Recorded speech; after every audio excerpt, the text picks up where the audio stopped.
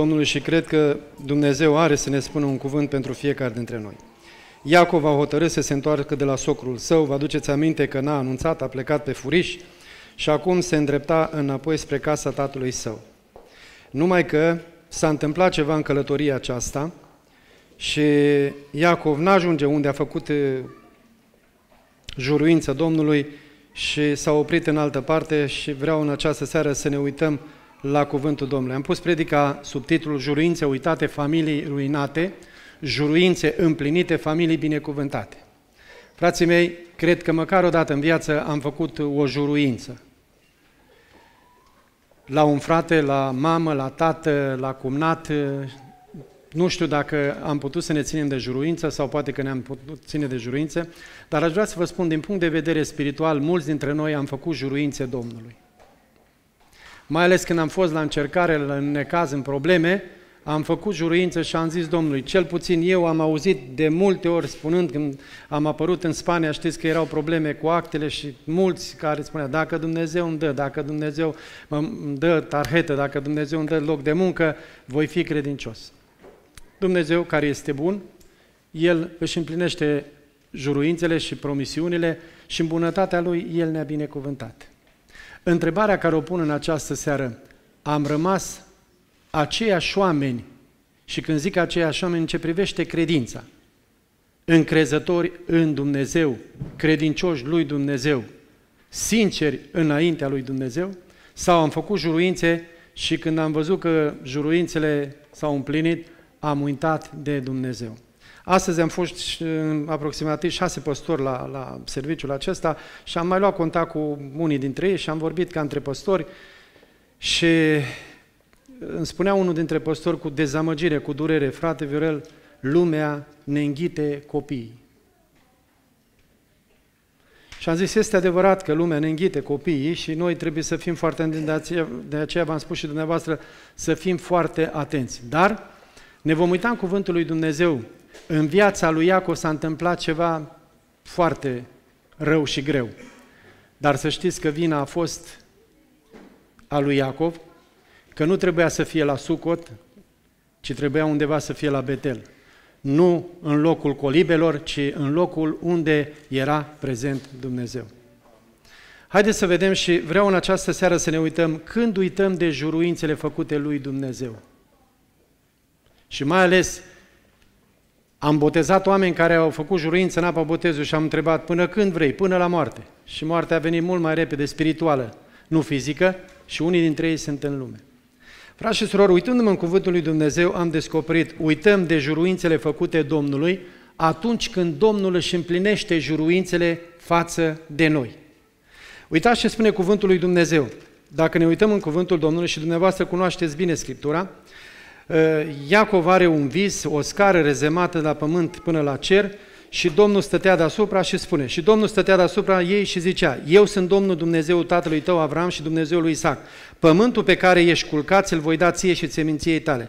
Sămânța ta va fi ca pulberea pământului, te vei întinde la apus și la răsărit, la miază noapte și la miază zi și toate familiile pământului vor fi binecuvântate în tine și în sămânța ta. Iată, eu sunt cu tine și mare har ca Dumnezeu să fie cu tine, să fie cu noi, nu? E un mare har. La un moment dat Saul s-a îmbolnăvit și unul dintre slujitori care a avut îndrăzneala a spus, împărate, eu știu soluția pentru boala ta. Trebuie să aducem un cântăresc care cântă bine și când va cânta el vei fi eliberat, te vei simți bine.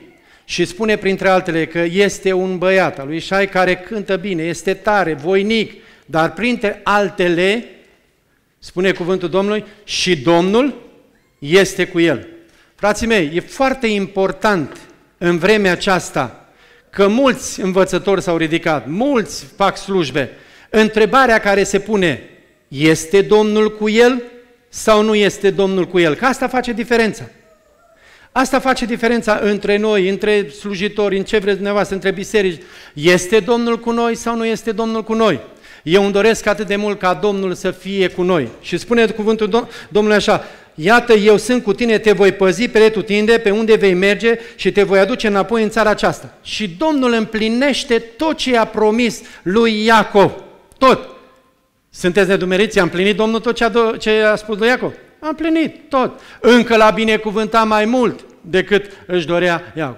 Și în momentul când Dumnezeu împlinește toate dorințele, când Dumnezeu ne dă apă, când Dumnezeu ne dă sănătate, când Dumnezeu ne dă aer, când Dumnezeu ne dă mișcare, când avem toate, nu e așa că ni se pare că trebuie să le avem că merităm? Și uităm de multe ori. M-a durut astăzi când am auzit când am auzit că vor în unele biserici să se ia decizia ca să se tot mișorează și programul și întâlnirile la casa lui Dumnezeu, frații mei, știți de ce se întâmplă lucrul acesta? Ne-am săturat de Dumnezeu. A, Dumnezeu să ne dea. Știți că la un moment dat uh, chivotul a fost dus undeva pe deal. Oamenii în vale chefuiau, trăiau cum vroiau și Dumnezeu acolo pe deal. Numai că la un moment dat au avut nevoie de Dumnezeu și după 20 de ani și-au adus, nevo- au, și-au adus aminte că au nevoie de Dumnezeu, că numai Dumnezeu putea să-i scape. Și atunci au plâns și s-au tânguit și au zis, oh, ne aducem noi aminte, cândva aveam un Dumnezeu.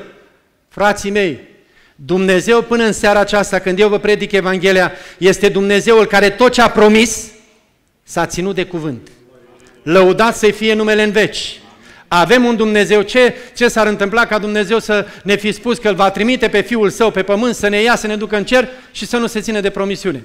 Și să vină necazul cel mare și să vină atâtea ceea ce citim noi în Sfânta Scriptură, uitați-vă la ceea ce se întâmplă. Oameni buni, nu trebuie să se ne mai predice cineva că sfârșitul e aproape. Cine nu vrea să creadă, să nu creadă, dar vreau să vă spun ceea ce se întâmplă astăzi, ne-a spus Domnul Isus cu mult timp în urmă. Domnul să ne ajute să ne pocăim. Doamne, ajută-ne la lucrul acesta. Doi, uităm să, să împlinim juruințele Domnului atunci când ne merge bine.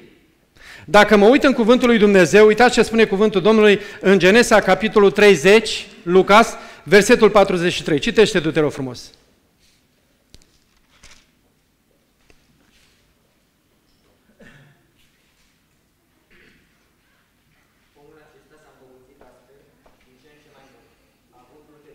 Rob și roabe, cămile și măgari.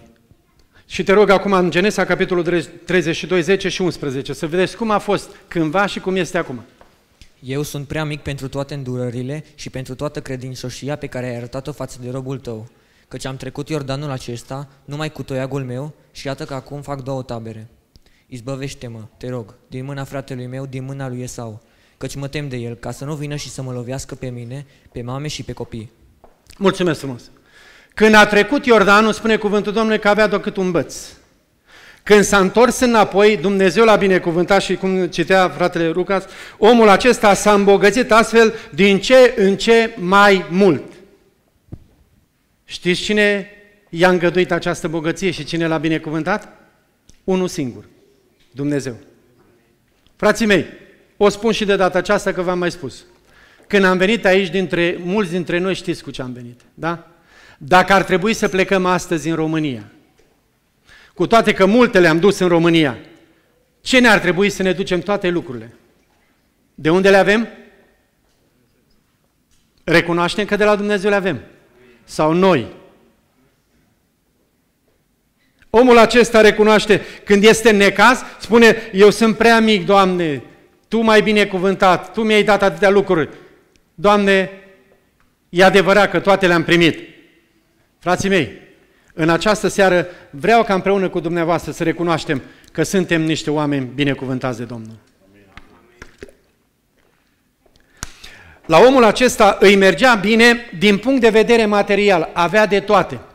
Dar vreau să vă spun din cuvântul Domnului reiese că omul acesta i-a mers bine și din punct de vedere social. Iacov avea două mari probleme. Și dacă nu era Dumnezeu cu el să-l ajute, nu știu dacă mai reușea să spună, acum am două tabere. O problemă o avea cu socrul lui. Când a plecat, a plecat fără să-i spună și socrul lui s-a mâniat foarte tare și s-a pornit să-l prindă pe Iacov și dacă Dumnezeu nu-i vorbea, vreau să vă spun că nu știu ce s-ar fi întâmplat cu Iacov. Dar Dumnezeu, pentru că îi promisese la Iacov că îl păzește, că îl ocrotește, că va fi cu el, Într-o noapte i-a vorbit lui Laban în felul următor, ai grijă ce vorbești, să nu cumva să vorbești de rău de el, pentru că eu îl ocrotesc. Și Laban s-a dus la întâlnit pe Iacov și a spus, ascultă-mă, dacă nu-mi vorbea Dumnezeu, era vai de tine. Dar pentru că Dumnezeu mi-a vorbit, astăzi nu-ți fac nimic. Doar te înfrunt un pic și spun că nu trebuia să faci ce ai, ce ai făcut, trebuia să mă anunți, să fi plecat cu voie bună. A doua problemă a lui Iacov a fost următoarea, frați și surori. Era problema cu Esau. Când a trimis el să vadă cam cum stă Esau și când au venit oamenii, eh, oamenii lui și au spus să vine Esau cu vreo 400 de oameni, l-a luat frica și teama și a zis, dacă de socru meu am scăpat, de fratele meu nu scap pentru că îl și știa cum e. Dar Dumnezeu i-a muiat inima și lui Esau și Iacov iese teafăr. Știți de ce? Pentru că Dumnezeu a fost bun.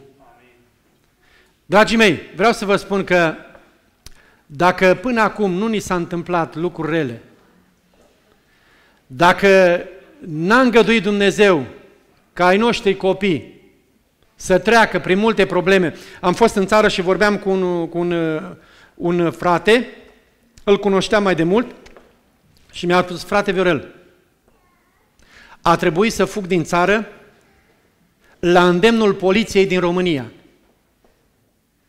Într-o zi, niște huligani mi-au luat fata cea mare, mi-au băgat-o într-o mașină și a plecat cu ea și n-am știut de ea două luni de zile. După două luni de zile, nu știu cum a făcut săraca fată, a scăpat, a sunat, au venit părinții, au luat-o și el s-a dus ca unul care, ca fiecare dintre noi, unde te duci? Să anunțe autoritățile. Și la care autoritățile a spus, băiete, dacă vrei ca copilul tău să mai fie în casa ta, sau ai tăi copii să mai fie cu tine, fă în așa fel, nu știu dacă ai rude în, ța, în, în străinătate, în altă parte, ia copilul și du-te. ia familia și du-te. Auziți. Dacă până astăzi, dragi copii, frați și surori, ne-am bucurat de copiii noștri și pleacă la școală și vin de la școală și se duc la joacă și se întorc acasă, vreau să vă spun că e numai ocrotirea lui Dumnezeu. În jurul nostru sunt atâția lei care răgnesc și gata să ne înghită, dar în jurul nostru este protecția lui Dumnezeu, gloria lui Dumnezeu. Lăuda să fie Domnul că până în ziua de astăzi El ne-a protejat pe noi și copiii noștri. Mărit să fie numele în veci. Al treilea lucru, când uităm să ne împlinim juruințele față de Domnul, este atunci când ne lăsăm influențați de lume. Vă spuneam mai devreme, nu aici trebuia să se oprească Iacov. Iacov trebuia să, mai departe, să meargă mai departe. La întoarcerea lui din Padan Aram, Iacov a ajuns cu bine în cetatea Sihem, în țara Canaanului și a tăbărât acolo. Și a mers bine. A cumpărat o goare, a făcut casă, colibe și a mers foarte bine și dintr-o dată totul îi mergea ok. Numai că printre băieții care îi avea Iacov a avut și o fată, Dina.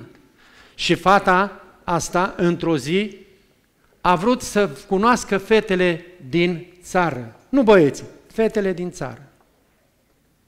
Numai că în timp ce ea a ieșit pe furiș, fără să știe și mama și tata, a văzut-o prințul Sihemului, a luat-o, a necinstit-o și atunci durere. Știți ce mă cutremură pe mine?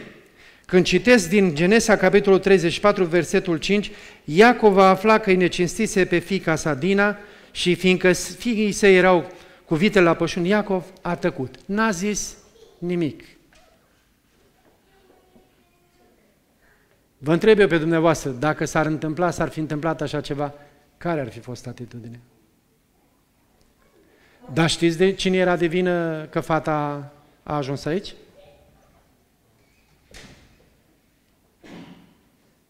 Tatăl ei. Că să știți dumneavoastră, de multe ori dăm vina pe părinți. Și o vă spun ca unul care de ani de zile, când au avut unii treabă cu mine, au dat în copii sau în soții. Noi, părinții, de multe ori aflăm ultimii ce se întâmplă cu copiii noștri. Cu siguranță că dacă Iacov ar fi știut că Dina iese, i-ar fi tras atenția sau n-ar fi lăsat-o. Unii comentatori, dar v-am spus, ce nu scrie în Biblie, doar citesc și eu ca și istorie. Unii comentatori spun că Dina a plecat cu acordul mamei ei. Eu spun mamelor în această seară, nu vă acoperiți copiii niciodată, lasă să nu știe tată. Lasă să nu știe tată. Eu am văzut multe, multe Când a zis, lasă că nu, să nu știe tata, lasă să nu știe tata, și când a aflat tata, a fost prea târziu. Vorbiți între dumneavoastră, soț, soție, și trebuie să știe tata ce se întâmplă cu băiatul și cu fata, că altfel va fi rău. Spune cuvântul Domnului că Iacov a uitat juruințele făcute Domnului din cauza că îi mergea bine. Și uitați-vă în cuvântul lui Dumnezeu în această seară, că s-a întâmplat ceva. În capitolul 34, versetul 30, spune așa, Atunci Iacov a zis lui Simeon și lui Levi, Voi m-ați nenorocit, făcându-mă urât locuitorilor țării, cananiților și feresiților, n-am sub porunca mea decât un mic număr de oameni, ei se vor strânge împotriva mea, mă vor bate și voi fi nimicit, eu și casa mea. Și acum ne uităm în capitolul 35, versetul 5, unde spune așa, Apoi au plecat, groaza lui Dumnezeu s-a răspândit peste cetățile care îi înconjura, așa că locuitorilor n-au urmărit pe fiii lui Iacov. Frații mei, între 34 cu versetul 30 și între 35 cu versetul 5 s-a întâmplat ceva. În, în perioada aceasta când Iacov a uitat de juruințele Domnului, că nu v-am citit, când Domnul îi spune lui Iacov că va fi cu el, că îi va mulți sămânța și așa și va da pământul, imediat vine și Iacov cu făgăduință. Doamne, dacă Tu vei fi cu mine, dacă îmi vei da pâine, dacă, dacă, a zecea parte și știți dumneavoastră. Și omul acesta uită de tot. Unu, pentru că Dumnezeu și-a ținut promisiunile. Doi, pentru că îi mergea bine. Și trei, a fost atras de influența lumii. Haideți să ne uităm în această seară, că asta ne interesează și mai mult. Cum putem să beneficiem de ocrotirea, de binecuvântarea lui Dumnezeu? Poate că unii dintre dumneavoastră vedeți că nu vă merge bine. Sau poate că la unii le merge bine, dar să știți că acolo unde nu este Dumnezeu, la un moment dat Dumnezeu își va retrage mâna. Și mă uit în cuvântul lui Dumnezeu și descoper, descoper ce a făcut Iacob ca dintr-o dată să se schimbe toată situația lui și în loc de frică să vină groaza lui Dumnezeu peste locuitorii care înconjura. Și mă uit în cuvântul lui Dumnezeu și vreau să vă spun, frați și surori, primul lucru care l-am descoperit. Ascultă de cuvântul lui Dumnezeu. Ascultă de cuvântul lui Dumnezeu și să ne ajute Bunul Dumnezeu să ascultăm de cuvântul lui Dumnezeu. Doamne, ajută-ne la lucrul acesta. Frații mei, Biblia noi nu o folosim doar când trebuie să predicăm. Le spuneam celor care s-au botezat astăzi, le spuneam în felul următor. Cartea aceasta, dacă o citești și o trăiești, te ține cât mai departe de păcat. Dacă te vei afunda în păcat, păcatul te va ține tot mai departe de cartea aceasta. De aceea, fiecare dintre noi în această seară putem să ne dăm răspuns la întrebarea cartea aceasta ne ține departe de păcat? Sau păcatul ne ține departe de cartea aceasta? Să ne ajute Bunul Dumnezeu să iubim Sfânta Scriptură, frați și surori. Să vă întreb cât timp stăm lângă Cuvântul lui Dumnezeu și cât timp stăm lângă telefon sau lângă computer sau lângă, lângă uh, televizor, dumneavoastră puteți să răspundeți și eu să răspund în dreptul meu. Dar aveți grijă că într-o zi vom da socoteală. Iacov a primit binecuvântarea lui Dumnezeu pentru că a ascultat de Dumnezeu. Și uitați ce spune Dumnezeu. Tot Dumnezeu e bun și tot Dumnezeu are milă, ca și în cazul lui David. David a ascuns el vreo 9 luni de zile și a zis, da, eu sunt împărat, mă duce capul și am să ascund și moartea lui Urie și am să ascund și păcatul meu. Dar noaptea când mergea la patul lui, nu putea să doarmă, avea coșmare, avea insomnii și mereu vroia să facă ceva, dar nu putea să scape. Numai că Dumnezeu, în întunericul camerei, el vedea ce se întâmplă acolo. Și într-o zi l-a chemat pe Nathan și a spus, Nathan, te rog, du-te la bietul David, că încearcă să ascundă, dar de ochiul meu nu poate să ascundă. Și știți dumneavoastră, când Nathan s-a dus, cum a stat de vorbă, și el imediat, cu adevărul, să moară, numai ce a spus, tu ești David. În cazul lui Iacov, lui Iacov, frați și surori, uitați, Dumnezeu îi vorbește și spune așa, Dumnezeu a zis lui Iacov, scoală-te. Și în momentul când Dumnezeu îți spune scoală-te, înseamnă că locul unde ești nu este bun. Când Dumnezeu hotărăște să-ți vorbească în felul acesta, să spună scoală-te, înseamnă că Dumnezeu a descoperit că locul unde ești nu este după voia lui Dumnezeu. Dumnezeu s-a uitat la Iacov și a văzut că locul unde stătea nu era după voia lui Dumnezeu și a zis, Iacov, i-a dat un ghiont în, în, în coastă și a spus, Iacov, tu trebuie să te scoli. Nu sunt eu Dumnezeu acela care te-am binecuvântat atât de mult, ți-am purtat de grijă. Dacă ți s-a întâmplat ce ți s-a întâmplat, trebuie să spui întrebarea, de ce? Și acum, prin, vor, prin ceea ce Domnul i-a vorbit, îi spune, scoală-te că locul unde ești nu este bun. În această seară nu știu de unde trebuie să ne ridicăm, de unde trebuie să ne sculăm, dar Dumnezeu ne spune și nouă același lucru. Poate că în anturajul în care ești, nu este un anturaj bun, este un anturaj unde se clevetește, unde se vorbește de rău, unde se râde la vorbe care n-ar trebui să fie în, în mijlocul nostru. În această seară Dumnezeu spune, scoală-te! Poate, poate că la locul de muncă unde ești, poate că faci anumite lucruri care nu sunt după voia lui Dumnezeu și Dumnezeu tot te-a anunțat și tot te-a atenționat. Dumnezeu în această, spune, în această seară spune, scoală-te! Poate că Dumnezeu te-a chemat la o lucrare, poate că Dumnezeu vrea să te folosească, poate că n-ai, n-ai fost în țară, recitai poezii, poate că erai în corul bisericii, poate, poate, poate, și acum stai undeva, în lenevie. Dumnezeu în această seară spune în felul următor, scoală-te!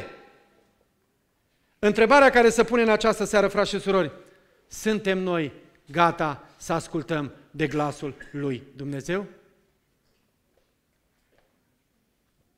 Cuvântul Domnului spune așa, Dumnezeu i-a zis lui Iacov, scoală-te! Al doilea rând i-a spus, suie-te la Betel, adică separă-te de tot ce este lumesc. Separă-te de tot ce este lumesc, că dacă vei mai rămâne aici, fata lui a fost bajocorită, doi băieți dintre lui au ajuns criminali în serie, și dacă Iacov ar mai fi stat acolo, s-ar mai fi întâmplat și alte lucruri. Și Dumnezeu i-a spus în felul următor, scoală-te și du-te, separă-te de lume. Frați și surori, s-a încercat de-a lungul vremurilor ca să, și multe biserici, și bine că au făcut, și mulți păstori au încercat să ducă biserica pe urmele bisericii primare. Și dacă o să vă uitați în istorie, și dacă ve veți uita și veți citi, veți descoperi că niciuna din bisericile după biserica din ziua cinzecimii și după aceea nu s-a mai ridicat la nivelul bisericii primare. Și știți care făcea diferența? Era următoarea. Duhul Sfânt a fost și atunci, este și astăzi. Predicatorii au fost atunci și este și astăzi. Diferența care o, faci, o a făcut o biserică de atunci cu biserica de astăzi, frați și surori, a ținut linia de demarcație. Știți ce spune cuvântul Domnului? Fiecare era cu frica lui Dumnezeu. Trăia în frică de Dumnezeu și spune că și acasă mâncau mâncarea cu curăție de inimă și în frică de Dumnezeu. Vă dați seama? Nu-și permiteau nici în familie să vorbească urât, să clevetească, să facă alte lucruri, pentru că știau că Dumnezeu îi vede. Ceea ce lipsește bisericii în general astăzi, nu predicatori, nu instrumente, nu clădiri mai mari, ceea ce lipsește bisericii în vremea aceasta este linia de demarcație până aici lumea și aici biserica. Numai că diavolul tot ne-a mutat mereu linia, ne-a mutat linia și ne-am trezit cu lumea în biserică. Și acum ne este greu. Mulți dintre noi recunoaștem că lumea a invadat familia noastră, bisericile noastre, pe noi ca indivizi.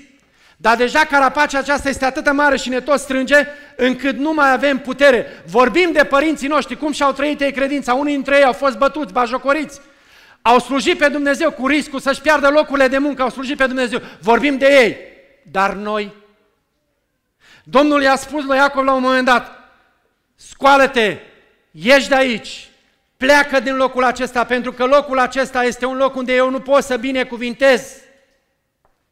Și poate în această seară Dumnezeu vrea să spună ție, care mă asculți, că Dumnezeu te spune, scoală-te, ridică-te, că locul unde ești nu este un loc bun. Vă spuneam de copiii dumneavoastră și m-am bucurat așa de mult și mi-am adus aminte de un verset în Biblie unde spune că la un moment dat Biserica creșteană Antiochia și Biserica a hotărât de la Ierusalim să trimiată un frate să vadă care-i treaba acolo și l-a trimis pe Barnaba. Și Barnaba când a ajuns în Antiohia nu s-a uitat la fusele surorilor, nu s-a uitat la freaza fraților, nu s-a uitat cine cântă la orgă, ci spune cuvântul lui Dumnezeu că a avut ochi să vadă harul lui Dumnezeu. Întrebarea care se pune în această seară, tu care mă asculți, mai vezi harul lui Dumnezeu în biserica din Vilanova? Ai ochii atât de curați încât să vezi lucruri sunt și dacă ar fi să ne învinovățim, oricare dintre noi puteți să dați vina pe mine, eu pe dumneavoastră, dar vedem harul lui Dumnezeu. Astăzi am trăit un har al lui Dumnezeu, să fim în locul acesta să ne bucurăm, să ne închinăm, să dăm slavă lui Dumnezeu. Nu știu dacă mâine vom mai avea harul, dar astăzi avem harul acesta. Mări să fie Domnul! Mă rog în această seară ca Bunul Dumnezeu să ne dea ochi să vedem harul lui Dumnezeu. 3.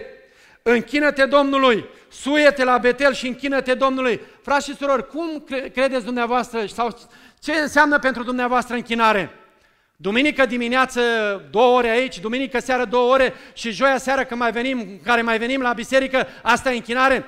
Domnul când îi spune lui, lui Iacov, scoală-te și du-te la Betel și închine-te acolo, adică o închinare permanentă. Acolo era locul unde locuia Dumnezeu.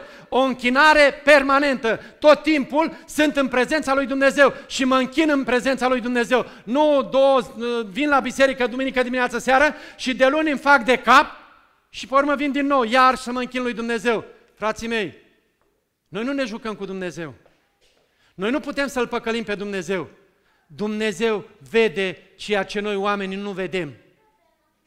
Dumnezeu în această seară mă vede pe mine nu ceea ce sunt, ceea ce este în inima mea. Și vă aduceți aminte când omul lui Dumnezeu a fost trimis în casa lui Isai să, să ungă împăratul. Când a apărut prima, primul om, a zis cu adevărat, negreșit, este el. Și a zis Domnul, nu, l-am lepădat și următorul, și următorul, și următorul. Și s-a terminat. Și atunci omul acesta e în dilemă și spune ce se întâmplă, n-am nimerit bine? Și a zis, nu, trebuie să mai fie unul. Și când a întrebat, mai ai un copil? A zis, mai este unul. Da, e acolo. Du-te și adul. A zis, Samuel, este adevărat că tu ești doar om și tu vezi doar până la cămașă. Dincolo de cămașă nu mai poți să vezi, numai dacă eu îți dau harul să vezi. Frații mei, dar Dumnezeu vede și în inima. Ești conștient în, aseară, în această seară că Dumnezeu îți cunoaște gândurile și inima ta și inima mea? Suntem conștienți de lucrul acesta? Dumnezeu ne cunoaște, oameni buni. Și spune Domnul la un moment dat, ai vorbit pe fratele tău și am tăcut, ai crezut că sunt ca tine, dar vine ziua când ți le voi pune toate sub ochi. Păi eu mă înspăimânt de un Dumnezeu așa de mare, care într-o zi trebuie să stau în fața Lui și trebuie să dau socoteală.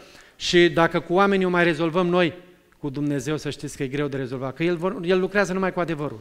Doamne, ai milă de noi. Doi, frați și surori, ca să primească binecuvântarea și să ajungă la binecuvântarea, în al doilea rând, și acum mă întreb către bărbați, comunicați cuvântul lui Dumnezeu, dar corect, dragi bărbați. Ca și cap de familie suntem chemați să comunicăm, să spunem cuvântul lui Dumnezeu, așa cum ne cere Dumnezeu. Și uitați ce spune cuvântul Domnului. Iacov a zis casei lui și tuturor celor ce erau cu el, scoateți Dumnezeii străini care sunt în mijlocul vostru, curățiți-vă și schimbați-vă hainele. Omul acesta vrea să spună printre altele, sfințiți-vă. Frații mei, E penibil ca eu, ca păstor, eu am mai pățit de multe ori când a venit bărbatul să spună, frate, vorbește tu cu soția mea că eu nu pot să o fac să vină decent la biserică. E penibil ca eu, nu m-a chemat Dumnezeu, pe mine m-a chemat Dumnezeu să predic Evanghelia, nu, nu mai să o predic, și să o trăiesc eu. Și să-mi fac datoria față de soția mea și de copiii mei. A, că trebuie să mai spun de la învonul bisericii, asta o fac. Dar ca să mă duc eu personal să spun soției tale sau, te rog frumos, fă datoria. De unde știa Iacov că înaintea lui Dumnezeu nu poți să ajungi oricum? Știți ce a spus Pavel, uh, uh, Iacov când uh, și-a dat seama că în prezența aia era și Dumnezeu? S-a cutremurat, s-a înspăimântat și a zis, vai, aici nu sunt singur. Dumnezeu este cu mine. Frați și surori, știți ce, ce vreme este vremea când eu vă predic Evanghelia? Am necaz pe Iacov că el când s-a dus, s-a dus să îngroape Dumnezei, ne-a dat adresa. Și după ani de zile, noi suntem dibaci. N-a trebuit să căutăm prea mult, că am și găsit unde sunt Dumnezei și am descoperit. Și deja îi avem printre noi. Știți că între bărbați și femei, între soții, sunt anumiți Dumnezei și soțul nu știe de Dumnezei. Știți că s-a întâmplat și în, în, în privința lui Iacov? A zis să moară la cine sunt Dumnezei. Iacov a, a fost sincer, numai că el nu știa că draga și scumpa lui soție purta Dumnezei. Nu știu dacă e pe placul dumneavoastră predica aceasta, dar eu vă predic dumneavoastră și mi-o predic mie. Este vremea nu să dezgropăm Dumnezei, este vremea să îngropăm Dumnezei străini. Și nici nu mă aștept să ziceți amin, că e greu. Să vă întreb că, fraților, sunt Dumnezei străini în viața noastră sau nu sunt? Fiecare în dreptul nostru ne putem da răspunsul. Dar vreau să vă spun, Dumnezeu este acela străin când uh, ceva, un lucru, o ființă, un obiect, ia mai mult timp decât timpul lui Dumnezeu. A, joia seară nu putem să ajungem aici, numai dacă anunțăm că vine nu știu cine. Dar când Dumnezeu este prezent și ne-a spus, și nu vă spun că mi-a spus cineva că nu să vine joi, eu vă spun din ceea ce văd pe teren. Frații mei, aici când noi ne strângem, este Dumnezeu. Lăuda să-i fie numele în veci. Este Dumnezeu. Sfințiți-vă, Iacov a spus, sfințiți-vă. Și procesul acesta știi cum începe? Din interior spre exterior. Întâi în inimă trebuie să scoatem tot ce nu este după voia lui Dumnezeu și apoi urmează și celelalte. Păi noi putem să, eu mereu am auzit și sunt deja obosit de, frate, Domnul se uită la inimă. E adevărat că se uită la inimă. Și eu sunt de, de acord. Dar ascultați-mă, și ce spune cuvântul Domnului? Că din inimă ies. Și noi când trebuie să lucrăm, înainte să lucrăm la garderobă, noi trebuie să lucrăm la inimă. Și când lucrăm la inimă, nu ne va fi greu să lucrăm și în partea la, la hăinuțe. Dar dacă nu lucrăm la inimă, e o problemă. Și am mai făcut încă un lucru. Pe lângă că a ascultat de glasul lui Dumnezeu, pe lângă că a vorbit cuvântul lui Dumnezeu, Iacob, noi românii și eu vă predic unor oameni care sunteți buni la zidărie. Dumnezeu să vă binecuvinteze. Cei care lucrați în zidărie. Și nu numai pe cei care lucrați. Uh, românii sunt buni constructori. Dar știți că și Iacov era bun constructor? Știți ce spune cuvântul Domnului? Iacov s-a dus la Betel și a zidit un altar. Vă întreb pe dumneavoastră și mă întreb pe mine. Mai este altarul rugăciunii?